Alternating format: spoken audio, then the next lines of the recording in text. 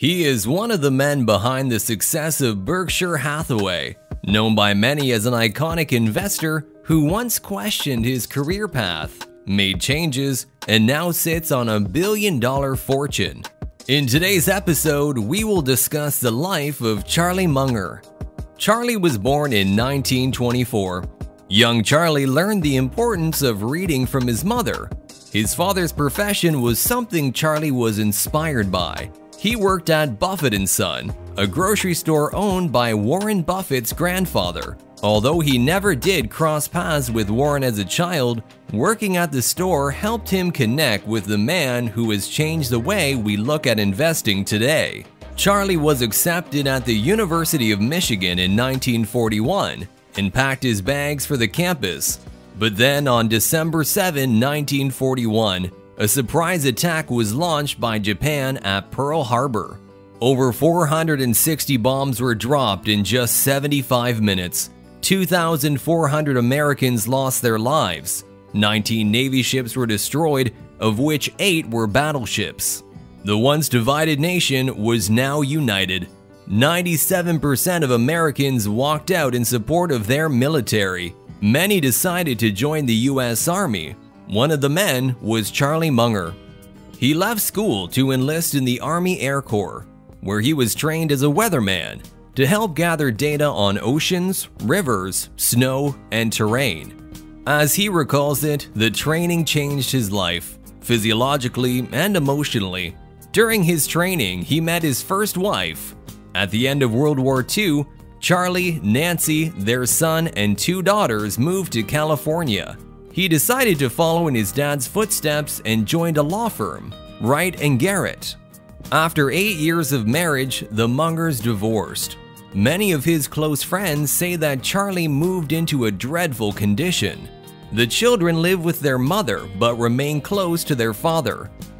Around this time, Charlie also decided to invest in a business by buying part of a troubled transformer company owned by one of his legal clients. The transition brought some financial pressure on Charlie. Then things went from bad to worse when he found out that his 9-year-old son was diagnosed with leukemia. Charlie was devastated. He moved into a bachelor apartment and drove a yellow Pontiac. He worked crazy hours all week to recover the money he had lost in the divorce. His kids would visit him on weekends where their favorite activity was to visit the zoo. But a trip to the zoo was a discomforting trip, as he had to drive with kids in a lousy looking Pontiac. His daughter would often ask, Daddy, this car is just awful, a mess. Why do you drive it? To which he would reply, To discourage gold diggers. And knowing his son had leukemia, weekly family visits were even harder. Leukemia had grown to a stage where it was incurable.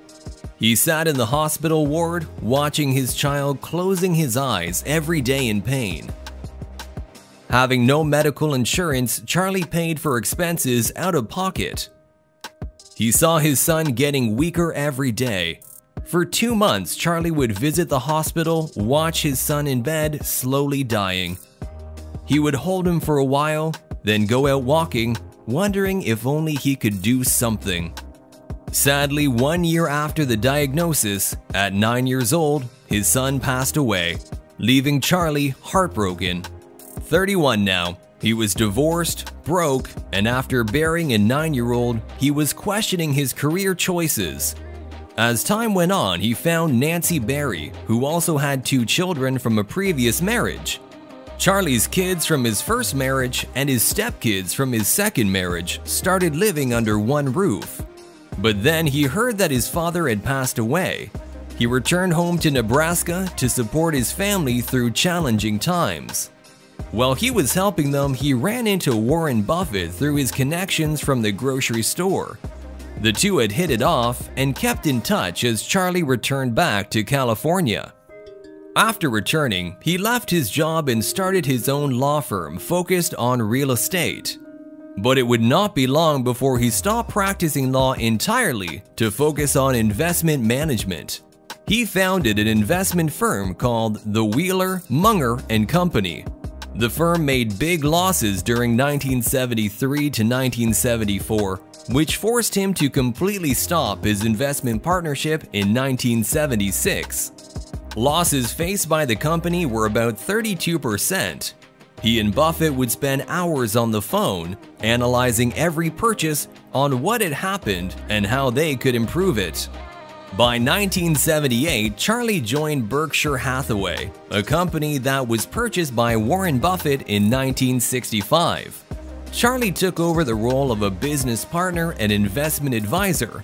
He sharpened his investor skills and finally, his investments started delivering an annual return of 20%, which was four times the average market rate. At 52, he went through another life-changing incident. He had developed cataracts. A failed surgery left him blind in one eye. Suffering from pain in his left eye, he asked doctors to remove his eye completely. He was told that there is a chance of losing the other eye as well. Fearful of the possibility, he started taking Braille lessons so that he could keep up with his reading and make wise investing choices. The duo started acquiring companies rapidly in the late 1970s and through the 80s. They expanded their horizons by investing in companies like Geico, Gillette, US Air, Coca-Cola. In 1977, Charlie purchased the Daily Journal, a publishing company. A man who lost everything after a divorce, who walked on the streets crying, feeling helpless because he couldn't save his son, who was fearful of losing his sight completely due to a failed operation, ended up creating investment rules that are used by many around the world today. Until next time, have a good one.